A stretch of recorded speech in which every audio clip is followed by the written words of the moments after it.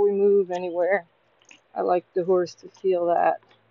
So currently fed the lines through uh, the setup that Oliver Puls provided. And I like the horse to feel these uh, lines up on her back because they're more than likely, good girl, to end up upper tail and all over the place as we work sometimes the first times. Things don't go like we want. So let's see how that works. One of the things I'm not liking already is the saddle pad just caught the um, line. So I might change my saddle pad situation a bit. So just leave it like that for right now and see how it goes. But right now it's just about teaching the horse that the lines can come up on the side of her. Good girl. Good girl. And to teach her without moving that the lines go over her back. Good girl. That I can come around one side to the other so she catches me in her eye slide the rope up the side of her body so she feels that. Good girl. Excellent. Bravo. And it's, you know, preferable when you do this the first time if you have a ground person around to help hold the horse stand still. Good girl. Or you can do it on a cross tie, which I, like I said, I've tested this out with her uh, in smaller amounts. I'm just doing it more, more. Good girl. Sorry, I pulled on that rein a bit much.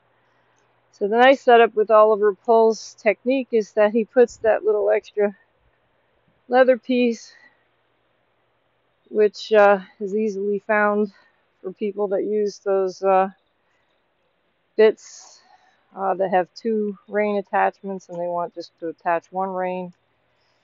So that's the attachment that's going from the halter to the bit.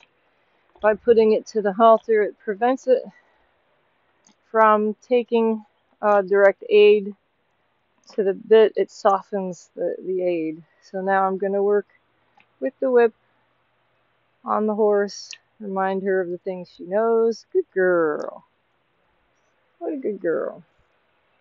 So I've been wanting to use this technique and approach uh, previously, but I was waiting for Rodrigo to come and go, and now that he's gone, I didn't like the way she was on her last lesson and workout with me, so I wanted to make sure, good girl, that uh, we took a step back out of the saddle and uh, reinvestigated some work from the ground to help her with her back.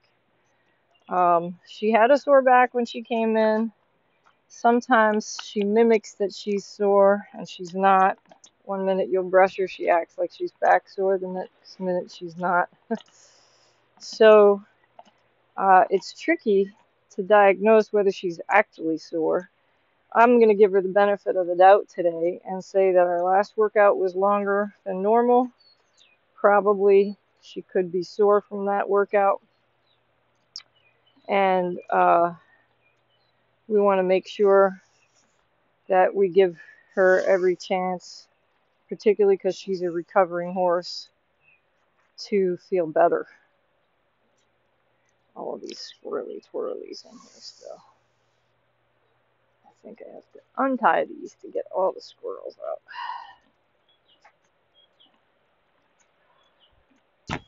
Good girl.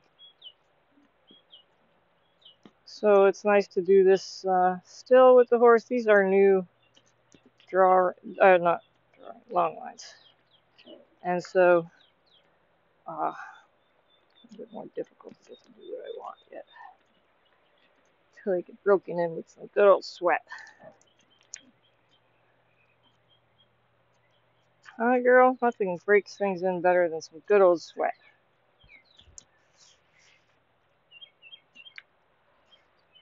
Alright. Let's see if we can get these straightened out a bit.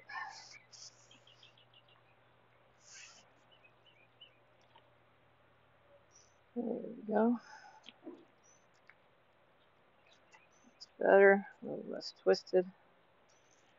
So it's important to have a straight contact from the bit to the horse's mouth. And uh, that's why I'm going through all this extra effort. There we go. Now, that inside rein in the beginning doesn't get fed anywhere. Um, I know Oliver, I'm going to do, do it Oliver's way. Instead of tying it like this, he feeds the rein through to the side like this. It does help a little bit more with the incurvature of the horse, and I think it also helps take up the reins so they're more even and it's less challenging to adjust. Walk up. Good girl. So I just want to get the horse to walk at first. Girl. I want to take it easy with her. I'm not going to go far. I'm going to start with the reins. So instead of pulling on the rein to the outside too much, I'm going to use the whip on the shoulder to say, hey, turn to the right, right, and I use the whip up here a little bit to help encourage that. Right. There you go. So this is an issue she's having even under saddle. Walk up. Walk up. Good. Good. Turn right. There. Excellent. Bravo. So this is the reason why I wanted to go to this to teach this horse a little bit more about the reins. Excellent. And to sort out some of her issues. Good girl. Without being in the saddle, and if in fact she is back sore, not putting any pressure on her back. There you go. So now she's decided walking is an okay thing. Good job. So we're going to work on keeping this horse forward more. Excellent, but not flat. So I want to get her under herself because that's one of the problems that she's having. Good.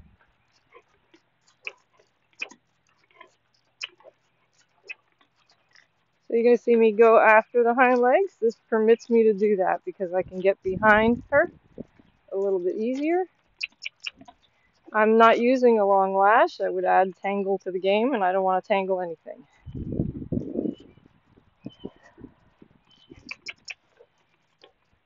You want to use just the flippy end at best. Good. Right. Good. There. Straighten. Good. There. Left. Good. Job. I want the horse to be able to walk and release her head forward, so I'm not trying to keep a contact that's too strong. Good girl. Again, she's trying to turn in, so I'm using the whip as a guide. Good. Good. Left. Left. Good. Straight. Straight. Straight. I'm not quite getting in the corner. Left. So Oliver's excellent at making sure he uses exactly the same command each time. Good. Excellent. Bravo. Straight. Straight. Good. Good girl. Much better into the corner. Good girl. So we're going to work on how to approach with her into the corner and get her deeper. I'm going to catch the shoulder here, push in at the girth here where she's falling and tell her engage in the hip. Good. Catch the shoulder, push at the girth, engage the hips. Excellent. Good girl. Bravo. Excellent.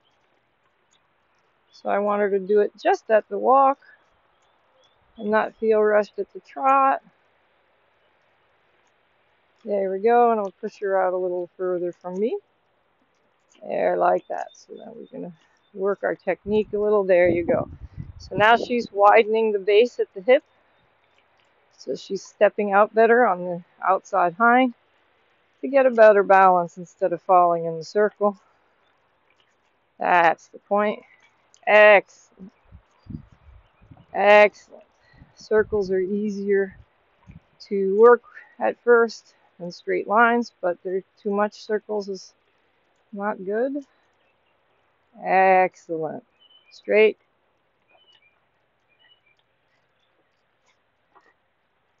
Straight. Good. Excellent. So I'm trying to use a little bit the outside rein with the whip towards the shoulder so she doesn't fall in. And now we'll do another volte. Left. Again, tell her to push that hip open and get under herself a little bit. Good. Left. Very nice. Good girl. So she has a nice relaxed headset. She's not over curled. It's exactly why Oliver uses this setup. Have to be very light on the inside rein. Excellent. nice. Good girl. And I have to say, this horse is really smart and very willing to sort things out with me. I'm not going to volte here because I have no wall to support me. The outside rail is often confusing to her. So we're just going to go straight through until I get to the next corner where I have a bit more support here already. She wants to turn in. Straight, good. Left. So she voltes making sure my contact isn't tight, but gives and supports. Again, remembering we're trying to teach a horse to have the contact on the outside and the give on the inside. This setup that Oliver Puls has like this is very easy to help manage doing it. Ah, up. Okay. We're not getting bugs. It's not bug time. Good. Good. Excellent. So she was getting a little low up front, so I'm going to push the hip. Take the outside rein, make sure the inside rein's released. Excellent. I'd rather have a little trot. Good girl. Good. Then an overcurled horse that's down in front. So I'm going to start working those transitions. This is excellent because one of this horse's problems was being driven with side reins into the left shoulder from really poor skills on the ground. And this is really helping me to sort out that shoulder and teach her a better balance. Walk up. Good. And as she's pregnant, this will help me when I feel it's unfair to ride to have another way to keep her fit. Excellent. Straight. Straight. Good. Good girl. Tourne. Good. Excellent. Bravo. Excellent. Walk. Good. One of the reasons I'm not going far away is so she doesn't stop and turn to go the other way. Which is something that sometimes horses think to do to get out of this gig.